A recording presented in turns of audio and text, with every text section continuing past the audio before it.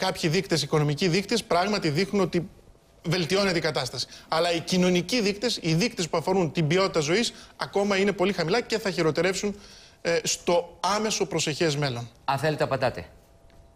Με βάση τα 13 δις που μπήκαμε μέσα, πού να πληρώτα; Δεν έχει κόσμο να πληρώσει.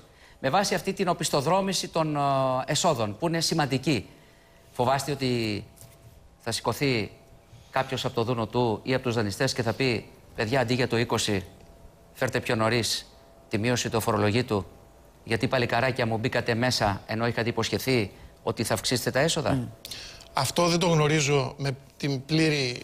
Το φοβάστε; ε, Δεν το γνωρίζω πλήρως, γιατί τα στοιχεία αυτά τα στοιχεία τα ξέρουν καλύτερα στο Υπουργείο Οικονομικών.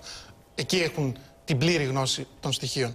Αλλά είναι ένας υπαρκτός κίνδυνος. Υπάρχει στο, στην έκθεση Το είπε συμμόρφωσης. και ο- στην Κεντρική Υπάρχει, Επιτροπή είναι γραμμένο. ο Τσακαλώτος. Ε, Είναι ακριβώς. Είπε, παιδιά, προσοχή. γραμμένο.